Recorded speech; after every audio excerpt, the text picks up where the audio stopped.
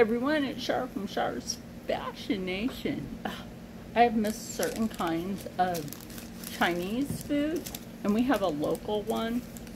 I eat with chopsticks because for me it's kind of weird not to. And I found that they have rice noodles. Yes, so I got the chicken one. I can't wait to taste this to see how it is. It's extremely hot. We just got home with it. And then we went over to Wawa and we got some pure leaf tea. I love this flavor. There are certain teas that I can't drink and that's one of them. Brisk is not real tea. And I can't have that crap. So, oh my gosh, that smells amazing. Um, so this will be Saturday's video. Ooh, that smells nice. It really does. So, I will readjust myself. Sometimes I put that pillow on my lap. So, oh, that's my extra chopsticks. I used to have a pair of personal chopsticks, but that was a long time ago when I used to live in Philly. So I'm going to try these without any uh, extra on it.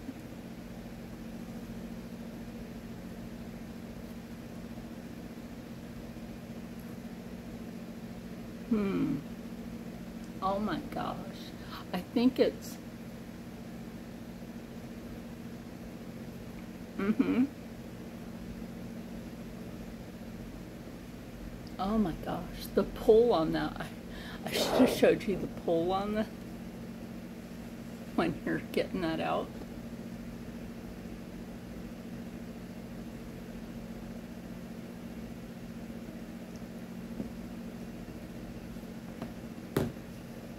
Hmm.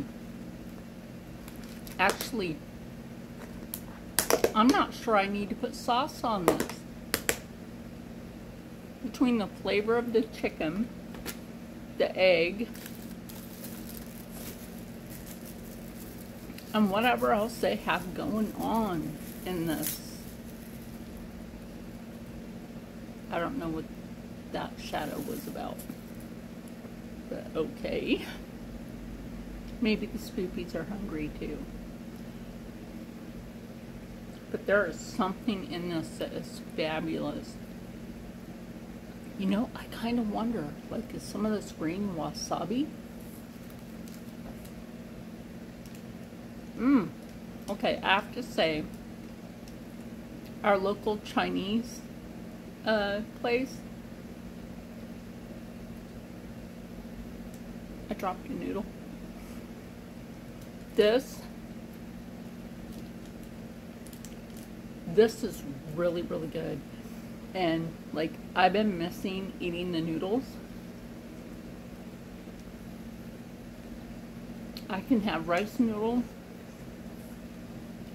and I can have bean noodle, and occasionally I eat egg noodle. But this right here, if you have autoimmune disorder and you have to change your diet, right? And for something gluten-free, this is gluten-free. Remind yourself, this is gluten-free. So, oh, there's cabbage in here too. Oh my gosh, I love cabbage. Carrots and all sorts of stuff. So anyway, more bite of this chicken before we before we go. So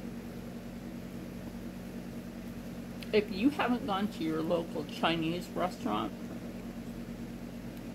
because you may have health needs, check out the rice noodle and if they have any bean noodle on their their uh, menu and then like I said I don't I don't think this needs any extra on it. This is very flavorful the way it is. So remember when you want to stay healthy but you want something flavorful and you want Chinese food try something like this if you have the place in your area. Hmm.